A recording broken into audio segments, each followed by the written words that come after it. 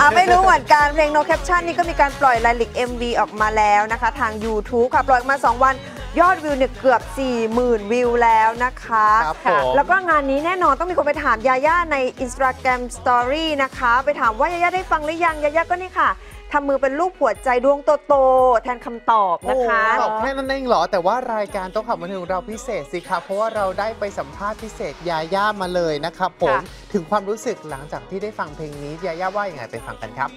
เพลงของพี่แบร์ครับเขาร้องให้อยู่ว่าโอ้ยไม่หรอกเขาลองให้แบบทุกคนแบบว่า ผู้ชายทุกคนสื่อได้แบบเข้าใจได้ว่าพูดถึงคนน่ารัก คนน่ารัก คนน่ารักอะไรอย่างนี้ค่ะเราก็เป็นหนึ่งในคนน่ารักใช่ไหมครับหนูก็หนูก็จะคิดแบบนั้นไปค่ะ ใช่หรือไม่ใช่ไม่รู้ เป็นยังไงบ้างติดหูไหมเพลงนี้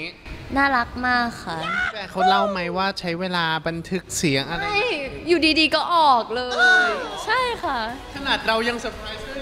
เลย เหมือนตอนที่ไปซ้อมคอนเสิร์ตก็ก็ได้ยินแวบๆว่าแบบมีเพลงแบบ no caption หนูก็ what song เพลงอะไรอะ no caption ไม่เคยได้ยินมาก่อน แต่ไม่คิดว่าเป็นเพลงของณเดชน์แฟนๆหลายคนเขาบอกเพลงนี้ณเดชน์น่าจะนึกถึงญาญ่าตอนที่ร้องไม่จำเป็นหรอกค่ะ ไม่รู้ถามพี่เขาเองถามพี่เขาเอง เพลงนี้มีความพิเศษยังไงในมุมมองของเราอืมหนูว่ามันเป็นเพลงแรกของของพี่แบร์ที่เขาออกเองอะไรอย่างนี้ มันพิเศษตรงนั้นแล้วก็ แล้วก็แบบมันวัยรุ่นดีแบบทุกคนเข้าถึงได้ฝากซิงเกิลแพงเขาหน่อย ฝากเพลง No Caption ของพี่ณเดชด้วยนะคะ อย่าลืมไปฟังกันเยอะๆนะคะ